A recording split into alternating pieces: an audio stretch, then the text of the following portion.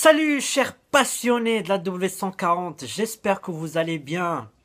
Bon, il fait très beau, hein, euh, il faut profiter. Maintenant, c'est la période où il faut euh, sortir les bagnoles qu'on adore, et notamment notre cher W140. Euh, je vois que ces vidéos vous plaisent, donc on va continuer la série avec cette fois une question qui revient à chaque fois qu'on pose cette question et qui est très simple. Euh, J'ai envie d'acheter une W140, mais euh, laquelle? Est-ce que je prends un essence, un diesel, une version courte, une version longue? Est-ce que je prends plutôt un- le coupé? Et euh, donc voilà, moi je vais essayer de, d'éclaircir un peu et de, donner mon avis personnel et toutes les caractéristiques. Après, à vous de- de choisir par rapport à ce que vous cherchez. Est-ce que c'est plutôt pour une daily, c'est plutôt pour euh, une des balades le week-end? C'est toutes des caractéristiques qui, qui, qui vont vous permettre euh, à la fin de, de, de, choisir euh, ce que vous, ce que, ce que vous voulez. Et, et ensuite,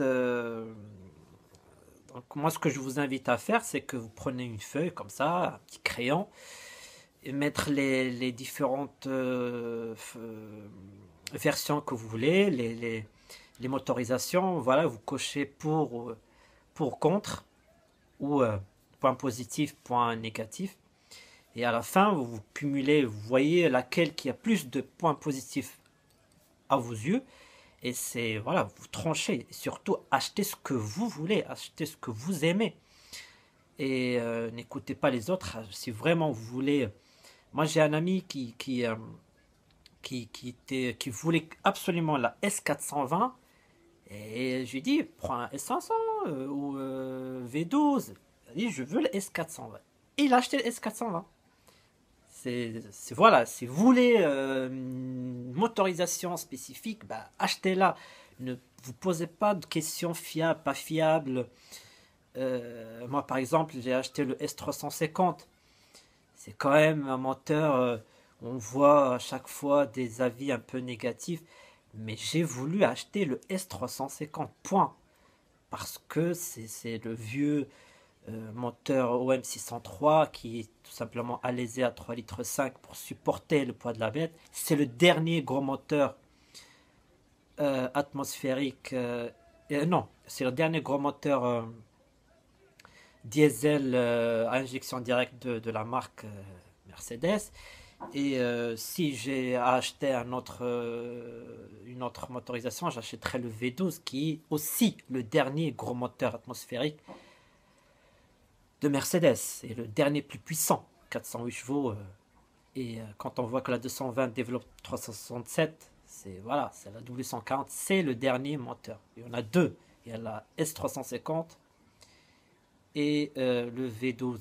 C'est le- les derniers gros moteurs diesel injection directe et essence euh, atmosphérique.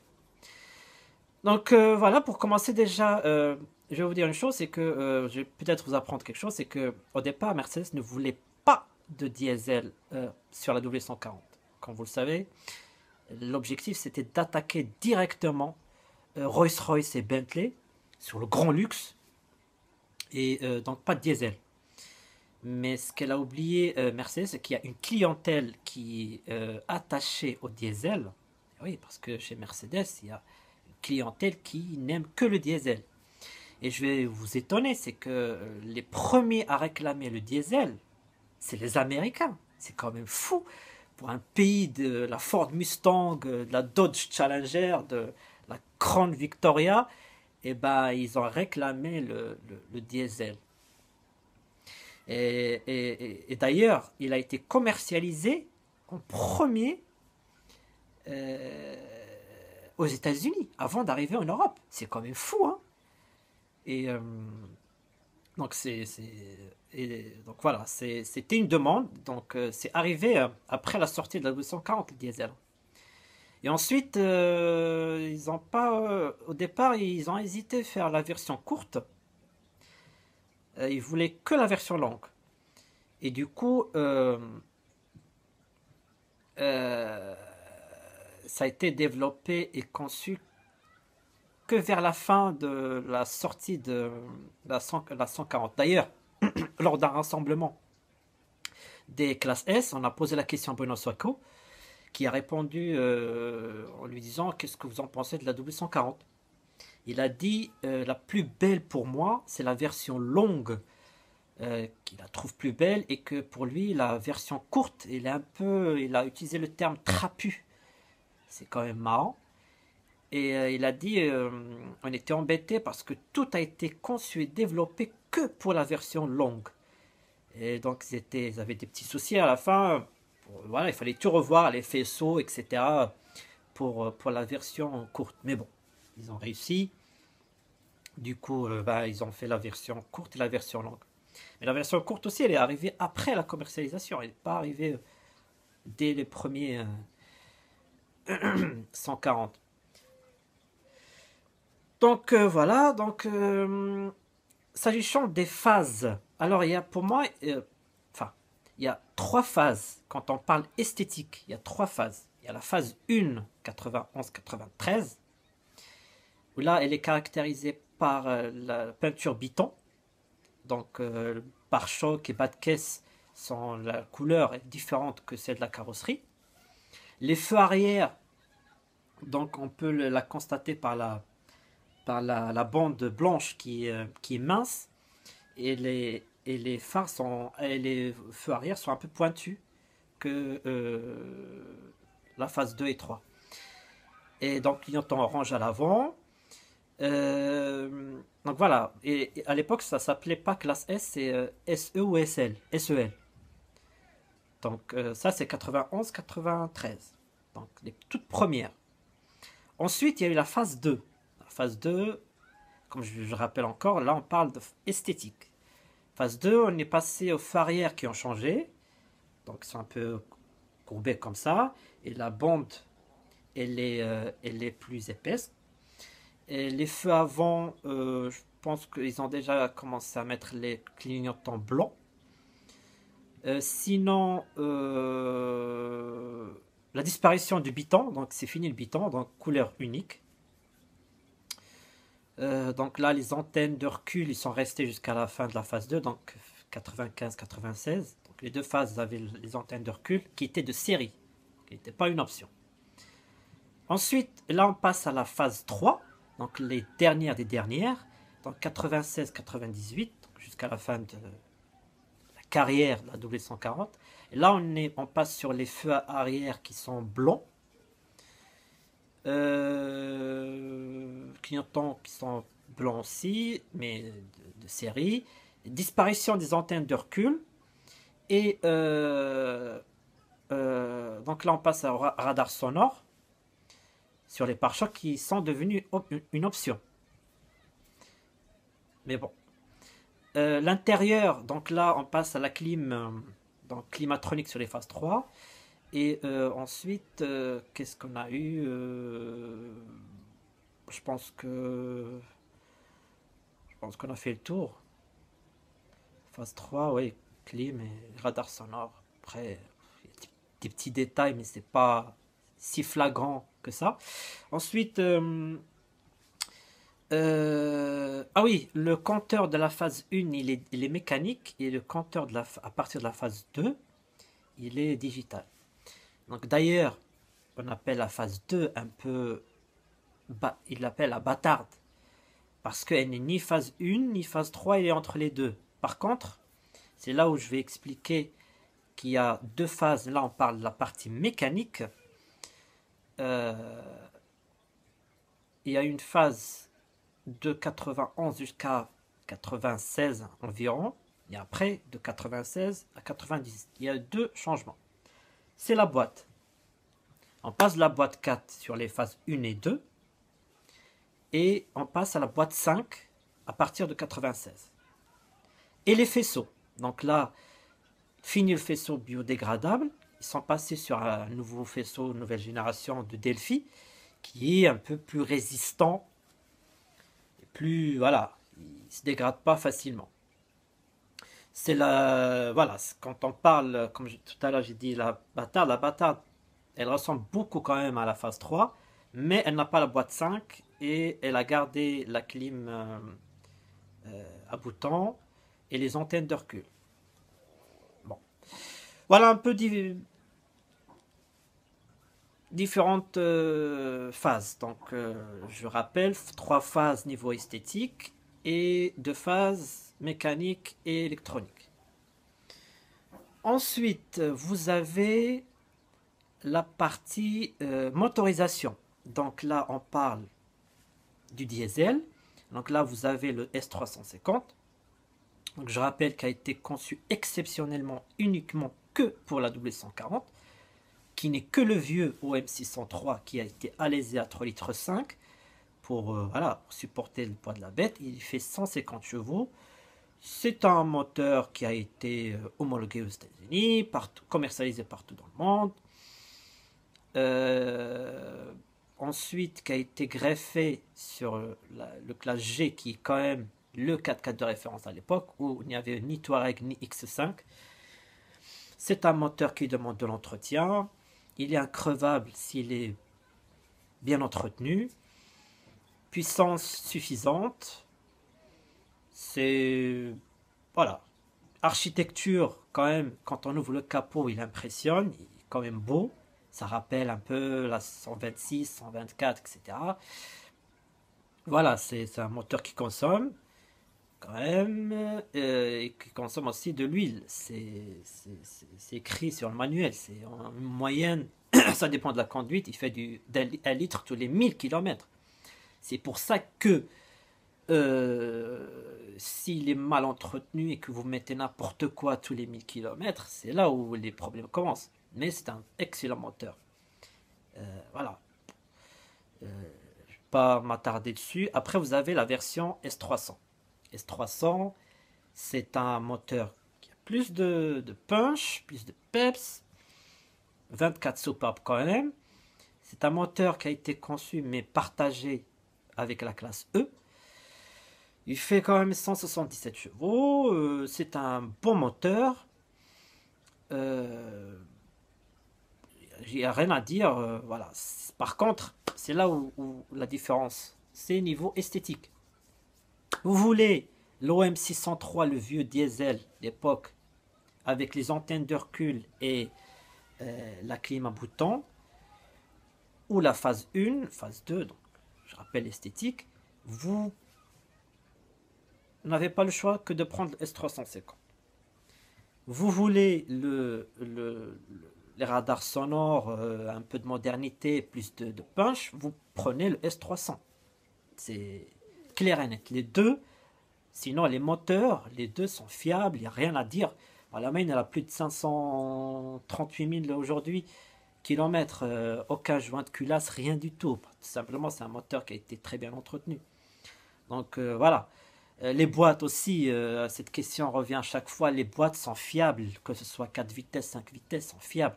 Et si on commence à dire ouais mais 4 vitesses c'est pas fiable, bah, si on parle si on parle la, boîte de la 126, 116, etc. Ils sont aussi pas fiables parce que c'est vieux, non? Bah non, toutes les boîtes sont fiables. moi je réponds toujours par la mienne. Hein. C'est pas un miracle, hein. c'est un moteur bien entretenu. Il faut faire la vidange des boîtes aussi. Il faut pas euh, voilà vous, vous regardez le niveau de l'huile de la boîte, si vous la trouvez qu'elle est marron, il faut, faut vidanger. Normalement, elle doit être rose. Voilà, niveau. Euh, voilà, si euh, vous hésitez entre le diesel, euh, voilà, moi, quand j'ai voulu acheter la mienne, j'ai pas réfléchi 3, 3 minutes. Hein. j'ai dit je veux les, les, antennes de recul, je veux la clim à bouton. Par contre, je veux la phase 2, donc je veux pas de biton. Et voilà, j'avais pas le choix. Je prends le 350 parce que déjà, lui, ce moteur-là, il me plaît. Euh, son architecture, ça, ça me plaît, j'adore. Ensuite, on a les versions essence. Les versions essence, on a 280, le 300, bah, ancienne nomination 300, donc c'est 320, le 400 ou le 420, le 500 et le 600. Là, euh, pour faire simple, les versions essence sont des avions de chasse. C'est des voitures qui arrivent à 200 à l'heure sans aucun problème. Elles sont toutes fiables. Après, la question que vous posez, c'est la puissance. Vous voulez, plus vous achetez plus gros, plus euh, c'est puissant. C'est tout. C'est la seule différence. Ne parlez pas de consommation parce que moi, cette question, je n'aime pas cette question. Parce qu'une W140, ça consomme. C'est évident, c'est une classe S, c'est le luxe. Il euh, n'y a pas de moteur économique. Vous prenez le V8, vous, avec une conduite pépère ou le V12 dans conduite pépère, c'est du 9-10 litres. Hein. Par contre, dès que vous appuyez sur l'accélérateur, l'aiguille de la consommation instantanée, elle s'affole. Hein. C'est tout. Mais que ce soit le 6 litres, euh, le, le 6 cylindres, le V8 ou le V12, euh, voilà, tout dépend de ce que vous voulez. Vous voulez plus de puissance, prenez voilà, plus gros. Vous voulez, euh, parce que voilà, assurance, etc., pièces, etc., moins cher, entretien, voilà, vous descendez. Après, moi je préconise quand même, si vraiment vous voulez être raisonnable, partir sur un V8. Après euh, S420 ou euh, S500, bah, S420 ça a été commercialisé aux États-Unis. C'est un moteur qui, eux aussi, a été commercialisé en premier aux États-Unis. Pourquoi Je pense que ça faisait plus beau, plus joli sur le catalogue de voir 300, 400, 500, 600. Sinon, euh, d'après le retour que j'ai eu, ils disent que euh, c'est un moteur qui a un très bon comportement par rapport au S500. Maintenant, moi, je ne peux pas trancher dessus parce qu'il faut que je les essaye tous les deux pendant une longue durée et pas faire trois petits tours et dire voilà, S500 est mieux. Mais bon, moi, si j'ai le choix, je prends quand même le S500. Voilà, c'est un 5 litres. Euh, c'est quand même. Je préfère. Moi, si je dois trancher entre les deux, je prends le S500. Après, vous avez le V12. Le V12, c'est le dernier des derniers. C'est la classe S. Pour moi, c'est le, V12, le M120, le meilleur, le dernier gros moteur atmosphérique. Euh, voilà, c'est. Euh, qui a été conçu que pour la W140. Euh, ensuite, la SL, qui a aussi. on l'a greffé ça au SL. Mais quand même, la SL, c'est quand même du haut de gamme. Voilà, pour moi, le M120, si vous voulez avoir le moteur qui pensez à dans 10 ans, 15 ans, ce moteur va être euh, le plus recherché du monde parce que c'est le, meilleur que je rappelle que AMG a, réussi à sortir 800 chevaux euh, du 6 litres sur la Pagani Zonda euh, Revolution de 2013 et de Evolution R, les deux, 800 chevaux, quand même. Ça veut dire qu'à sa sortie, il était à la moitié de sa, de, de, de, de sa puissance, quoi. C'est fou, 800 chevaux. Donc voilà, euh, maintenant, tout va dépendre. Moi, c'est sûr que euh, si j'achète la prochaine, de toute façon, moi je vais acheter, j'ai déjà la, version diesel parce que je suis passionné du diesel Mercedes. Été biberonné dans la 123 diesel 200, la 240, la 300, la 126 aussi. J'adore ce bruit du, diesel Mercedes, même si la W140, quand même, quand on roule, un diesel, on dirait un V8. Les gens qui sont à l'intérieur de la voiture disent mais c'est un essence ou un diesel C'est vraiment beau. Même, le diesel, c'est niveau sonore, c'est magnifique.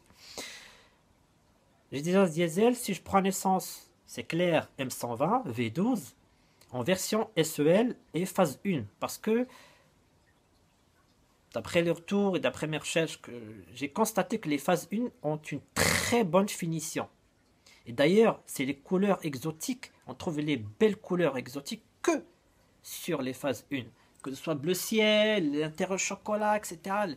Il y a beaucoup de, configurations sur les phases 1. C'est quand même fou.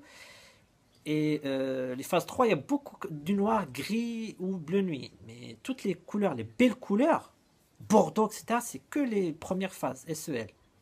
Ou SE, 91, 93. Donc, euh, après, si vraiment je n'ai pas le choix, je prends le V8, c'est sûr. Après, ça dépend de vous, de, de, de, de, voilà, de la conduite. Déjà, euh, faire une W140 en daily, pour moi, waouh, il faut vraiment avoir les moyens. Après, euh, si vraiment j'ai vraiment les moyens, encore, je prends déjà, donc celle-là, je la garde à vie, c'est clair, diesel, le V12 et le coupé.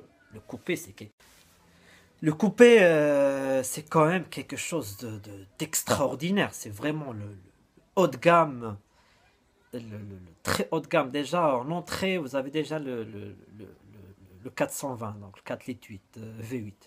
Et vous avez minimum pas mal d'options. C'est vraiment euh, après. Pareil, il y a la phase 1, phase 2.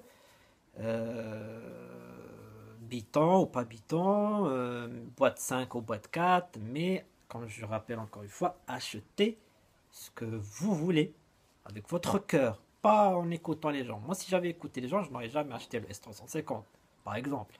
Plutôt- pourtant, j'avais le choix entre le, le S300 et le S350. J'ai tranché euh, rapidement et tout simplement. Donc, je, oui, pour le coupé, c'est quand même le, le, coupé de référence pour moi. Et si vraiment j'ai la possibilité de racheter une troisième, j'achèterai bien évidemment le coupé. Donc 350, le V12 et un coupé, euh, voyons pourquoi pas un M119. Euh, pourquoi le coupé c'est quand même quelque chose de, de- de- d'extraordinaire? Moi j'ai une phrase que j'adore beaucoup et qui me, à chaque fois je, je parle cette phrase, j'ai des frissons. C'est la phrase de Frank Sinatra que vous connaissez très bien. Et, lui, il, était, il avait le- le- sang de Ferrari qui coulait dans ses veines. Il, était toujours euh, fan et qui achetait que des Ferrari. Un jour, il est passé euh, à Lamborghini, Countach, à l'époque. Et Lamborghini, c'est pas, c'est pas Lamborghini d'aujourd'hui. À l'époque, c'était pas quand même une voiture qui voilà, c'était pas comme la Lamborghini qu'on connaît aujourd'hui. Et euh, il y avait une conférence de presse. Et là, il y a des journalistes qui ont posé la question. On a dit, euh, Sinatra, euh, en fait, on n'a pas compris. Vous êtes passé de Ferrari et euh, quand même à, à Lamborghini. Et là, il a répondu avec cette phrase. Wow, notez-la, franchement, c'est une. Retenez-la, c'est une très belle phrase. Il a dit Vous savez, quand on achète une Ferrari, c'est qu'on veut être quelqu'un. Mais quand on achète une Lamborghini, c'est qu'on est déjà quelqu'un. Waouh Moi, cette phrase, c'est pour ça que, tu vois, je, je suis ému, hein, j'adore cette phrase. Et pour moi, ceux qui ont acheté à l'époque, euh, dans les années 90, le coupé 150, cent- c'est- le coupé euh, C140, c'est qu'ils sont déjà quelqu'un. C'est vraiment. euh, c'est une voiture qui est quand même discrète, qui a vraiment un moteur qui- le V8 minimum, et que c'est fait pour s'amuser, c'est fait pour euh, rouler le week-end, c'est fait pour euh, la laisser à la campagne, c'est fait pour euh, voilà, c'est vraiment une voiture que, que, que- là on est si la W140 elle est montée d'un cran, là, là on monte de deux crans. C'est vraiment un coupé fait pour des gens qui, qui, qui vraiment ont beaucoup de moyens à l'époque et, et qui et pourtant c'est fait pour, la conduire, le, coupé pour s'amuser. Et il y en a qui n'ont pas hésité à, acheter, euh, à cocher toutes les cases euh, des options et, euh, et par exemple, ils ont à l'arrière des, sièges orthopédiques à trois niveaux, etc. Pourtant, c'est fait pour, s'amuser le coupé quand même. Mais voilà, pour moi, le, le coupé, euh, c'est vraiment. Vous avez l'opportunité d'acheter un, achetez-le. Euh, après, voilà. Moi, ça reste quand même un petit rêve, mais je priorité au, à une W140 en V12 et après on verra, hein, peut-être. Hein. De toute façon, moi je suis maintenant marié avec la, la, la W140 et C140 jusqu'à la fin de ma vie. J'adore ce modèle, c'est quand même donc voilà, je résume.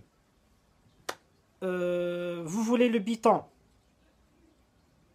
Phase 1. Là, vous pouvez prendre le, toutes les motorisations et, le diesel. Vous voulez la phase 2 Pas de biton, mais quand même euh, le radar de recul, euh, les antennes de recul, les clims à boutons. Et là, vous pouvez le, toutes les motorisations aussi. Par contre, euh, en phase 3, vous n'aurez pas le S350. Et c'est tout, je pense, au niveau motorisation. Oui, de version longue ou version courte. Si vous voulez une version longue en diesel, faut oublier, il n'y a pas. Ou le petit moteur de 180, il n'y en a pas. Donc, euh, c'est à partir de 320. Si vous voulez une SEL, ça sera essence, version longue. 320 à partir de 300. En Europe, c'est très, très, très, très, très, très rare de trouver des 320 en version longue, 400, surtout le 420. Oh là là, 420, c'est même pas la peine de chercher, c'est très, très rare. Le 600, il y en a quand même, 600 SEL. Donc voilà, donc euh, vous choisissez, par rapport à ce que vous voulez vous. Euh, ne, voilà, ne vous posez pas trop de questions sur euh, l'entretien. Ça demande d'entretien, ça demande des moyens quand même. C'est pas une voiture qu'on entretient chez, chez Feu Vert ou chez euh, Noroto. D'ailleurs, pour la petite anecdote, un jour, j'ai rechargé, quand j'ai acheté la 240, il y avait, elle était déchargée la clim. Et il y avait une petite promo chez Feu Vert. Bon. Et c'était 49 euros, je crois. Avec le, filtre et tout. Hein. Oh, je dis, tiens, je vais recharger ma, clim. Et je venais de l'acheter. Hein. Donc je vais chez, je rentre chez Feu Vert. Ah, une petite recharge. Oh, ils étaient contents. Ouais. Mercedes, c'est beau et tout. Bon, ils ont rechargé la clim. Je sors de chez eux. Elle marche très bien et tout. Et par contre, en une semaine, elle s'est déchargée. Je dis, oh, qu'est-ce que c'est que ça? J'ouvre le. Je regarde, j'ai trouvé une petite fuite. Ah Il faut savoir une chose, c'est que euh, un pro, quand il, euh, il, il vous fait la recharge de clim, il est obligé, ça c'est dans la loi, euh, loi environnementale, etc., obligé de vérifier s'il n'y a pas une fuite avant de recharger. Obligatoire. S'il ne le fait pas, il est obligé de, Par exemple, dans mon cas, vu que c'est vidé, moi j'ai réparé la, petite fuite. C'était le condensateur. Je l'ai changé moi-même. Et je suis allé les voir, je dis voilà, j'avais une fuite, vous ne l'avez pas mentionné, vous n'avez pas fait votre boulot, vous êtes obligé de me recharger. Alors là, il était vert parce que euh, la clim, la 240, c'est l'équivalent de 12 frigos. Le truc, il, prend plus d'un kilo et demi de, de, de, gaz. Euh, et, pour le, titre de comparaison, une petite Clio, ça fait 400, 500 grammes. Hein. là, on est sur d'un kilo et demi. Hein. C'est la meilleure clim du monde. C'est fait pour il m'a dit, vous savez ce qu'il m'a dit? Il m'a dit, j'ai rien gagné avec vous. Je suis perdant. et, je ne veux plus faire de W140. Donc du coup, il m'a rechargé deux fois. Pour 49 euros. Bon, ça c'est la petite parenthèse. Pour vous dire, voilà, c'est ça demande d'entretien. Il faut... Voilà. Oui, euh, avant d'acheter, euh, vérifiez quand même que vous avez l'option 289, je crois, que j'ai moi. En fait, c'est une option, c'est une option, protection de la peinture. C'est-à-dire que si vous voyez sur le bon coin une W140 avec les pare-chocs qui commencent s'effriter, c'est qu'elle n'a pas cette option. En fait, c'est comme, comme un vernis, c'est un vernis en fait, plus épais, qui protège la peinture. Moi, quand ils ont fait le reportage avec ma, la mienne, ils ont dit waouh, mais c'est un miroir le, truc. vérifiez vraiment que vous avez cette option, c'est très important. Euh, voilà, après, euh, là maintenant, l'entretien, etc. voilà. Après, si vous avez vraiment les moyens, là, il y a des versions qui sont. Il n'y a rien à dire. C'est les AMG. les AMG, il y en a une centaine. Hein. Il n'y en a pas beaucoup. Et elles sont quasiment toutes japonaises.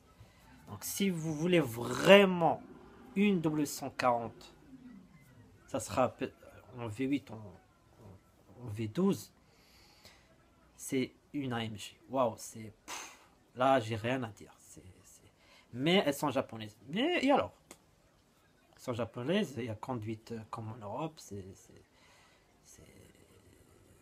Et vous savez pourquoi euh, il, y a il, y a beaucoup d'AMG euh, au Japon? Parce que là-bas, il y a LS, la Lexus, qui a commencé à grignoter dans le marché de la classe S et Mercedes a répondu en envoyant des missiles, des AMG au Japon. C'est pour attaquer Lexus dans son propre pays. C'est pour ça que les plus belles, pour moi, les plus belles W140, c'est les japonaises. Ce sont les plus belles d'ailleurs. C'est les seules qui ont euh, le GPS à l'avant et parfois même à l'arrière. C'est fou de voir l'écran GPS à l'arrière. Euh, si vous voyez un GPS dans une W140, c'est qu'elle est japonaise. Et, euh, n'hésitez pas à l'acheter. Hein. Si elle n'est pas chère, là, ne cherchez pas. Donc je pense que j'ai fait le tour. Hein, euh, j'ai donné toutes les phases, j'ai donné toutes les hum, différentes... Euh, donc voilà, pour moi, si j'ai à, hiérarchiser un peu les, les, motorisations M120, bien évidemment, le V8 et euh, le L6, mais vraiment, si vraiment j'ai pas le choix, mais moi je prends, je reste, je me fixe au V8. Euh, et ensuite, euh, en diesel, pour moi, S350, parce que je suis nostalgique de vieux diesel, parce que j'aime l'OM603, c'est tout. Hein, je veux les antennes de recul, pour moi, c'est indispensable. C'est le truc qui m'a le plus marqué à la sortie de la W140. Après le S300, c'est à vous de voir, à vous de choisir. Euh, conseil, quand je rappelle encore une fois, achetez ce que vous aimez, ce que vous voulez. Ne, si vous, par contre, si vous voulez acheter un diesel pour économiser, euh, pour moi, ça vaut plus le coup, honnêtement. Passez directement au V8 minimum c'est plus économique pour vous que, qu'un diesel. Le diesel, le mien, il fait du 11, 12, 13 parfois en ville. Hein. Ça consomme beaucoup le diesel et vu le prix du diesel, ça vaut absolument pas le coup. Donc si vous achetez le diesel juste par, pour économie, pour moi, c'est, vous faites, euh, faites euh, fausse route. Prenez un essence. Prenez un essence directement. donc voilà. Euh, moi, je même aujourd'hui, j'achèterai un diesel, mais pas pour économie, par passion. C'est très différent. Ensuite, euh, oui, l'éthanol. Éviter l'éthanol, pour moi, même si on me sort tous les arguments euh, du monde, je reste contre l'éthanol. C'est pas une voiture pour l'éthanol, c'est pas une voiture que qu'on que, que, modifie ou pour gagner quelques cacahuètes. C'est franchement, si vous n'avez pas les moyens, achetez euh, une classe E ou une classe C ou, une, ou, prenez une classe A avec le moteur Renault. Mais voilà, c'est une double 140 et il faut lui donner à boire euh, et, se faire plaisir. Point. Il n'y a pas de modifier, on met de l'éthanol, gaz, je sais pas quoi. Enfin, moi, je suis contre ça et je resterai toujours contre ça. Je suis. Voilà, je. C'est mon avis, ça, ça tient qu'à moi et puis c'est tout. Bon, bah, j'espère que cette vidéo, je pense qu'elle est plus longue que les anciennes. Mais j'aime bien, enfin, moi j'adore parler de la W140 et si je peux passer des heures à parler de la W140, je passerai des, heures à parler. D'ailleurs, quand je parle avec des passionnés au téléphone, enfin, on reste des heures et des heures à en parler. Moi, ça moi j'adore, j'adore. Ça me passionne, ça, permet de partager, de parler de, de ma passion. Euh, et puis c'est tout. Hein, euh, donc voilà, je reste à votre disposition. Si vous avez d'autres questions, n'hésitez pas à m'envoyer un message, à faire des commentaires. Et puis voilà, vive la W140, euh, vive euh, le coupé. Et j'espère, enfin franchement, c'est maintenant jamais qu'il faut acheter parce que la, cote a explosé ces derniers jours c'est vraiment fou euh, déjà de voir par exemple le S350 qui est revenu en force euh, sur le bon coin, qui, parfois les prix sont délirants. Et voilà, c'est juste si ça donnait raison ce moteur maintenant. Et voilà, c'est les autres motorisations essence aussi, c'est devenu trop cher aujourd'hui. Une W140, c'est quand même fou. Mais bon, c'est comme ça, c'est maintenant ou jamais. Et j'espère qu'un jour, ils vont abroger cette loi absurde qui a pénalisé le V12 euh, niveau taxe. Parce que, comme vous savez, le V12, il coûte euh, aujourd'hui, parce qu'il dépasse les 37, 37 euh, chevaux. il fait 30, 41, je crois. 37, 41, chevaux. Ça fait 500 euros par cheval fiscal. Donc, ce qui fait qu'il y a 2000 euros de taxes. C'est depuis le 1er janvier. C'est triste. C'est triste. Il y a que l'on est le seul au monde à taxer le, le, M120. C'est triste. Et, euh, mais bon, moi je, suis optimiste et je crois qu'ils peut-être ils vont l'abroger, j'espère, parce que cette taxe n'a rien rapporté. C'est dérisoire. Et euh, donc voilà crois que euh, fait tour, j'ai rien à dire de plus. De toute façon, je ferai d'autres vidéos, parler d'autres d'autres sujets, d'autres cas. Et voilà, hein, vive la W140 et je vous souhaite un excellent week-end et voilà, vive la W140 et à bientôt les amis. Ciao, bisous, salut.